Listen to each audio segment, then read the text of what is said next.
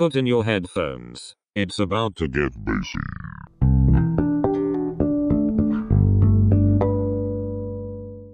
Today I'm going to be demoing and reviewing this wonderful green pedal, the DoD FX25 envelope filter. So looking at the pedal up close, we've got this lovely fetching green colour on an all metal chassis, uh, rubber footplate as you'd expect, my serial numbers worn off. I think this one is from the late 1990s, but I'm not sure. Standard quarter inch input and output jack here.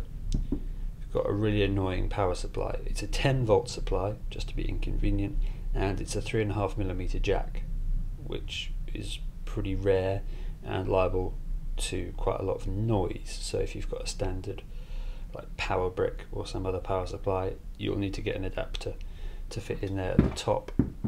There's a battery snap there, so I'm going to be using that today in the review rather than powering it off the mains. Pretty flimsy, this just made of plastic and probably liable to break fairly swiftly if it gets too much abuse. Same goes for the foot switch, not the rugged sort of uh, metal variety switch that you get with you know stock Boss pedals and most other things. LED and then just two knobs. So this pedal is fairly idiot proof, which is good news for me. So I'm going to be demoing the FX25 with this Mexican made uh, Fender Mustang PJ bass, which is pretty much brand new. I'm going to keep the pickup selector in the middle so you get a blend of the P and the J sounds, um, and it has factory stock factory standard round wound strings. Not sure what they are, I presume they are Fenders. So with the pedal bypass, this is what it sounds like.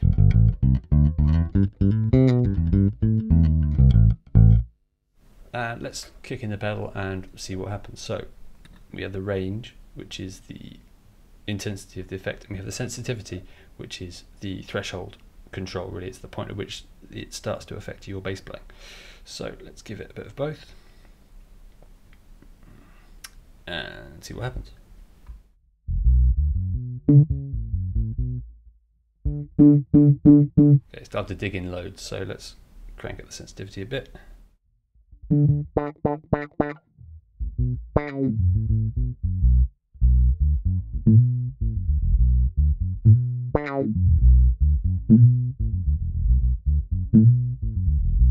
Again, not getting much, gonna crank it up even more.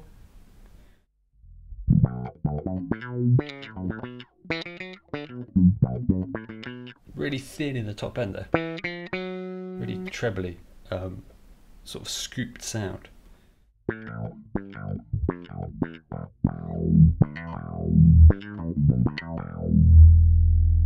Let's keep going. Let's see what happens if we max out. That's just really thin.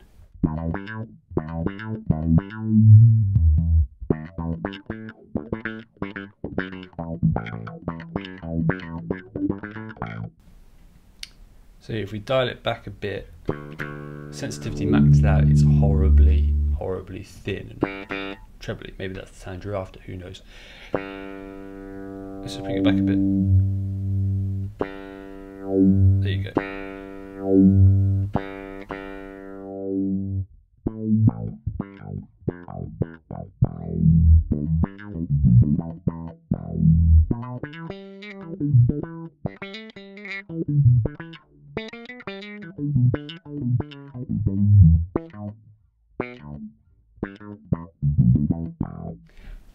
Really, really difficult to demonstrate an envelope filter without making weird sort of vowel sounds with your mouth. So apologies for any bizarre bass faces that are coming out. Let's see what happens if we adjust the range as well.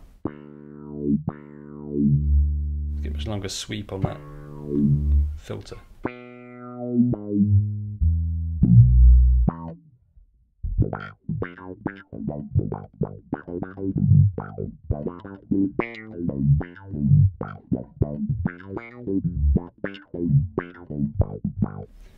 Bad, pretty usable. All the way up.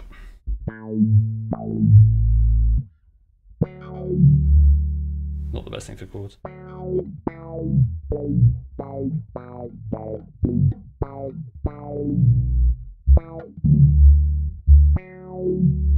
Uh, if you're one of those people who can't really think of anything better to do with the bass than slap it to death, then this is also a pretty good pedal for you. Maybe this is the thing.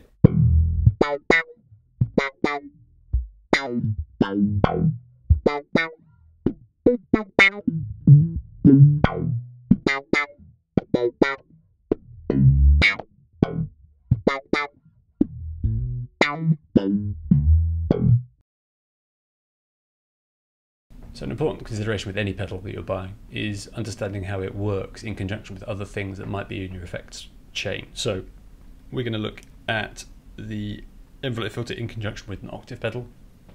I'm going to use the classic Brownette provider, which is the OC2, the Boss OC2, loved and abused by thousands of bass players uh, since the 1980s or thereabouts. And I'm going to put it first in the chain, so that solves any potential tracking problems. Um, and I find that this setup works a little bit better than having the envelope in front. Your ears may disagree, and that's fine, but this is my preference. My preferred OC2 setting is to have all the octave down all the way up and none of my dry signal, but that might change. So here's how it sounds. Nice and glitchy. So, pedal in.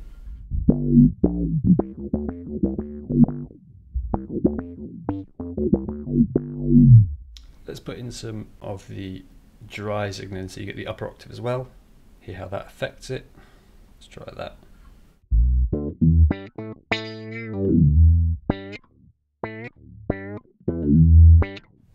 Yeah.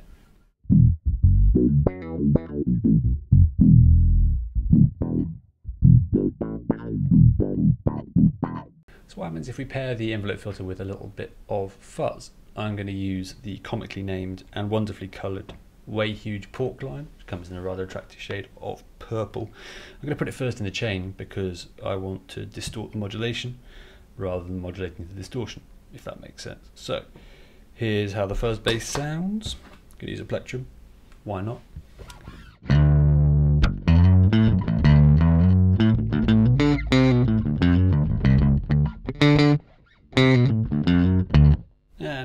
With some filter on it.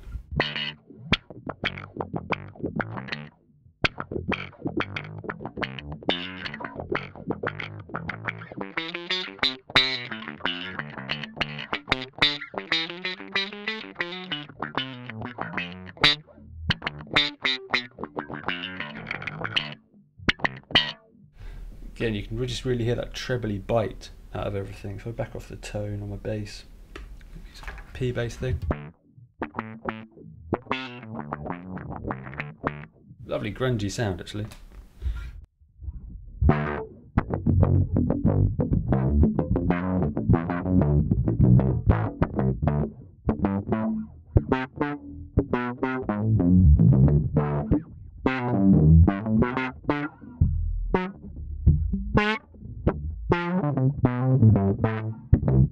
Another option is pairing the FX25 envelope with a bit of dirt. So I'm going to use the Darkglass B3K overdrive pedal.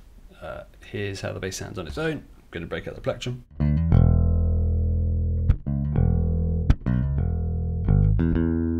And with a bit of grunt.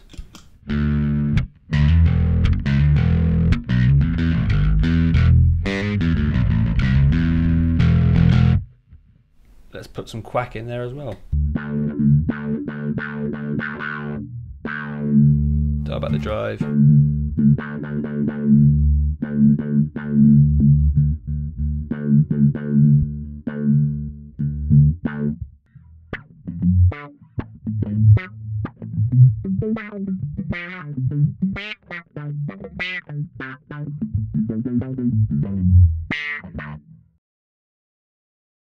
So the pros and cons of the FX25. The good stuff is that it's really easy to use. It's only got two knobs, which means that even an idiot like me can get a sound out of it fairly quickly.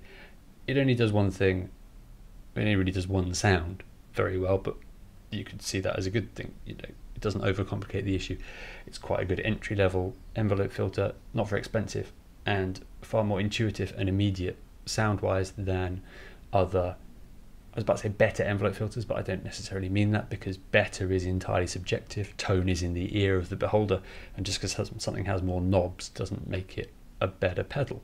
Anyway, this is really straightforward to use, and you can get a sound very quickly. If you're looking for a sort of entry level pedal that quickly gets you that wet funk sound, then this is not a bad shout. It's really, really cheap compared to other pedals on the market. Um, there are still plenty of them floating around on forums and on eBay um, secondhand. Bad things, construction, really. Having a plastic battery snap is a silly idea, I think, because that clip is liable to break fairly swiftly, which means your battery is going to be hanging out all over the place.